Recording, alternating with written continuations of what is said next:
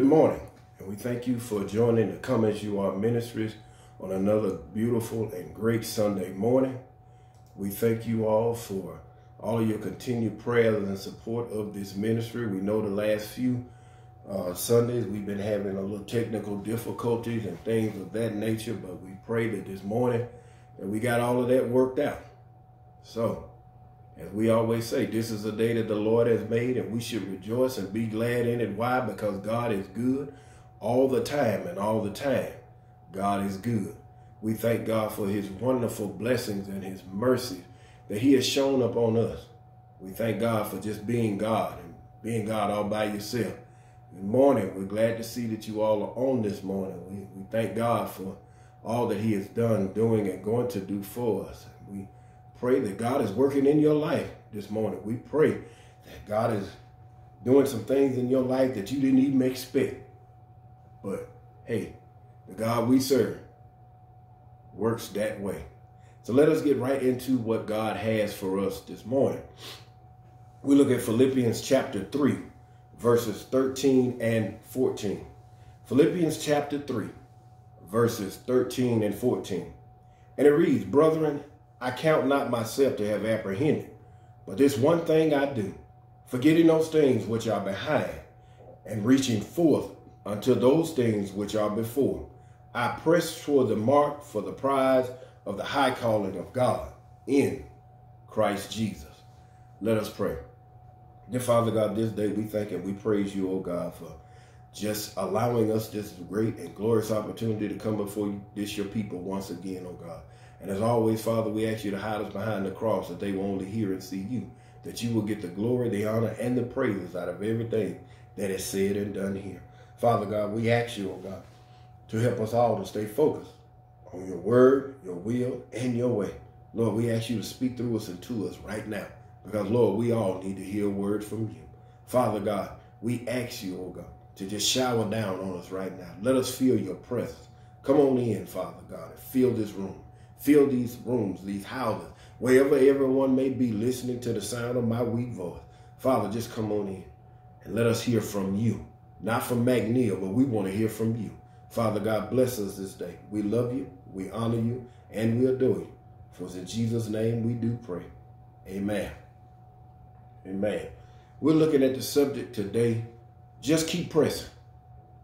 Just keep on pressing. Just keep on pressing. There are days and times in our lives when we just want to give up.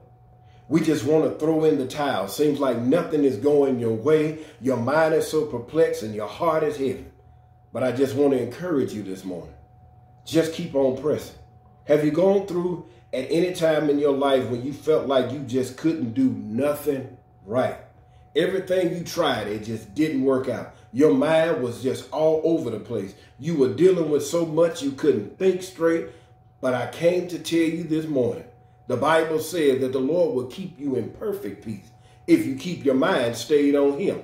So what does that mean? That no matter what you have to do to stay focused, stay focused on God, on his word, on his will, on his way, each and every day. See, we must know that the devil wants your mind. That's what he wants. He wants to control it because if he gets a control of your mind, he got you. In other words, that means you're under his control. You're going to do what he wants you to do and how he wants you to do it. But the Bible said, let this mind be in you that's also in Christ Jesus. In other words, we should be focusing on the things of Christ, trying to do and say just what God would have us to do and say. We can't let our minds be boggled down with what's going on in this world. There's a lot of stuff that's going on around us. There's a lot of stuff that's going on in this world that we can't let our minds be boggled down with. That's where prayer comes into play. We can't let our minds get messed up with what people say, think, or feel. We can't do that. Let them have their attitudes. Let them act the way they want to act. Don't let that derail you from doing what God wants you to do. We have to keep pressing and we got to keep praying. Because if you stop, you're stuck. You say, Reverend, what you mean you're stuck? If you stop doing what God wants you to do, you're stuck in a place to where you don't know where you're going. You don't know what's going on. You don't know what's your next move. You don't know what you got to go, where to go from there. So you're just stuck. It's just like when you follow the GPS and you get grown and don't want to listen to the GPS system anymore. Now you're in a place and you don't know where you are. You don't know where to turn from here. You don't know what direction to go in. You're just stuck at that stop sign.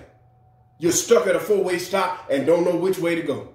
And a lot of us in life, we are stuck at the four-way stop of life and we don't know where to go. Why? Because we stop listening to the master GPS system and we start listening to everybody else that said they got a quicker way. They know how to do it better. But if the, at the end of the day, if you had a quicker way and you knew how to do it better, maybe you wouldn't be sitting at the same stop sign that I'm sitting at. Maybe you would already know where you should be going.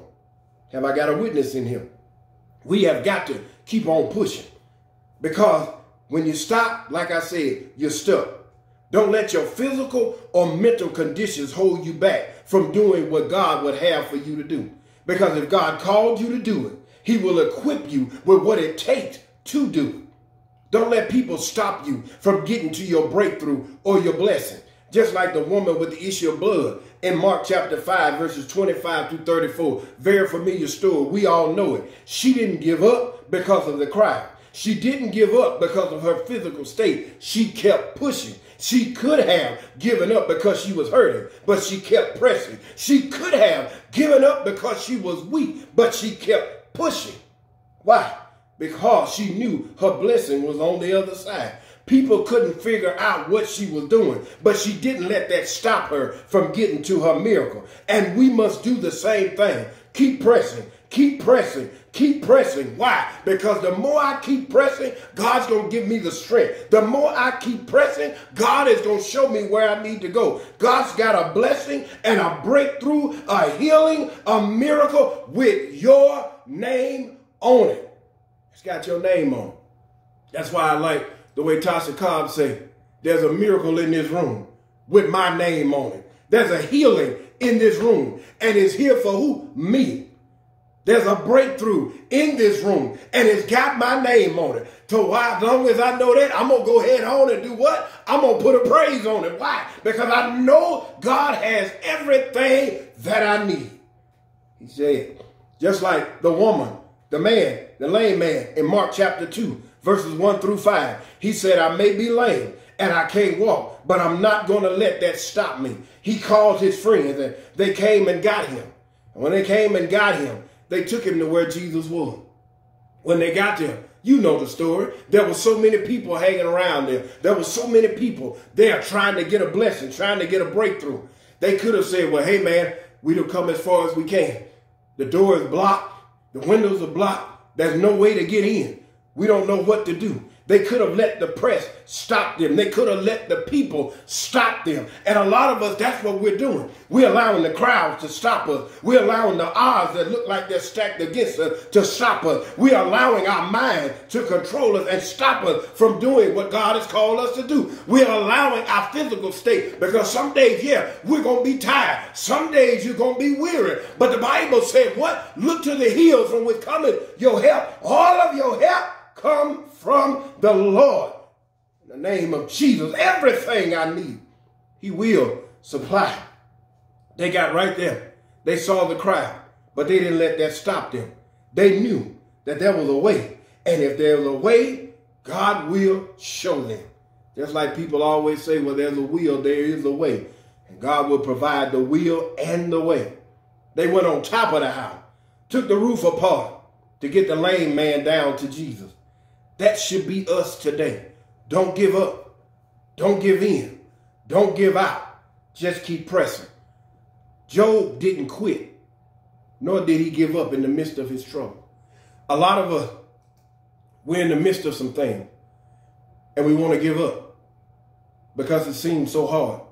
We want to give up because our minds are so perplexed and they're all over the place. We want to give up because we feel like we don't have the strength to fight on. We want to give up because we some of us are in the Job state. It's one situation after the other. We get the husband straight, the children start acting right, acting uh, messing up. We get the wife straight, the dog start acting crazy. We get the house straight, the job start acting up. We get the job straight, finances start acting up. We get this straight over here, something is always breaking loose on the other side. It's one problem after the next. When you think you've gotten yourself straight, your mental state start acting up. Depression starts setting in. All kinds of stuff start setting in. You can't make it. You're not going to be able to do this. You ain't got the power to do that. You don't have the strength or the knowledge to do that. Something's always setting in. Your back start hurting. Your head start hurting. Your toe messed up. Something is always going on. But I stopped by to tell you God's got the power. If you just keep pressing through what you're dealing with, keep pressing through the trouble, keep pressing through the pain, keep pressing through the heartache, God's got a way of fixing just what you got going on. That's why Job said, though he slay me, yet will I trust him. And then he came right back in Job 14 and 14, and he said, out of all of my appointed time, I'm going to wait till my change come. In other words, I'm not going to give up. I'm not going to turn my back. In other words, he says, I'm not going to give up now because I know that I know that I know that God's got me. Glory to God. Somebody need to hear that. God has you in the hollow of his hand. He's got you covered. He's got you protected. He's got you taken care of. So stop worrying. Stop fretting. Understand and know that God got the power to do anything but fail. You, you need to understand that. Know that. So when you want to give up on God, when you want to let go, when you want to, when you can't see your way, when the pains get so bad, when your mind is so perplexed, when your heart is so heavy, when your trials and tribulations seem to be taking over you, just keep on pressing. Don't let what the haters, the caters, and the debaters say stop you. Just keep on pressing. Don't let nothing keep you from your blessing, your breakthrough, or your miracle. Just keep on pressing. God's got a blessing with your name on it. Some days I want to give up because I can't think like I want to think. Some days I want to give up because I can't focus on things like I used to. Sometimes I want to give up even on preaching because of this old crazy disability that I got. But that's when I realized that man's extremity, glory to God, man's extremity is God's opportunity. In other words, when you begin to realize that we can't live, move, or have our being without God, when we begin to realize that we can't figure it out on our own, when we begin to realize that finally through our ups and our downs, if we hold on to God's unchanging hand, God will make a way out of nowhere. It's in those times when you should cry out, Lord, I need you. It's in those times when you get to the point where you just throw up your hand and you say, Lord, I can't take it no more. I can't fix it. I can't work it out. Lord, I need you to step in. And it's in those times it's in those troubled times when you get to that point. He will step in and make everything all right. He will step in and turn everything around. He will step in and open doors for you that you never thought would open. He will step in and he will close doors that don't mean you no good. He will step in and move those people out of your way that don't even have no business being there. All we got to do is keep pressing. Don't give up. Because you got to understand, if the Hebrew boys had a gave up, in the midst of the fire, they'd have burned up. If Daniel had give up, gave up in that lion den, he'd have got ate up. But the fact of the matter is, even in the midst of all of that, they knew who to call on. They knew who would work it out for him. They knew who would change things for them. Well, the clock on the wall says that's all. It's been real fun, but Rev McNeil got to run. See you later, alligator. And after a while, crocodile. But somebody still really don't understand what I'm saying because in your mind you're still saying, well, Reverend, I've been dealing with this for so many years. I, have been dealing with this problem. I've been dealing with this issue. I've been dealing with these folks. I've been dealing with this job. I've been fighting with this for the longest. I've been fighting with depression. I've been fighting with my physical state. I've been fighting with my mental state. I've been fighting with all of these demons that I got going on. I, what, what you keep telling me to press. I, I'm pressing, but it seems like nothing is happening. I need you to understand stuff doesn't happen in your time. It happens in God's timing. It's not about you, but it's about him. It's not about your might, not about your power, but by his spirit, by his strength, by his power, says the Lord. In other words, I can't fix it. I can't do nothing about it. I can't change it, but I know somebody that can. And because I know him, I stay hooked up with the sword. It's not about the resources. I stay hooked up with the sword because when you're hooked up with the sword,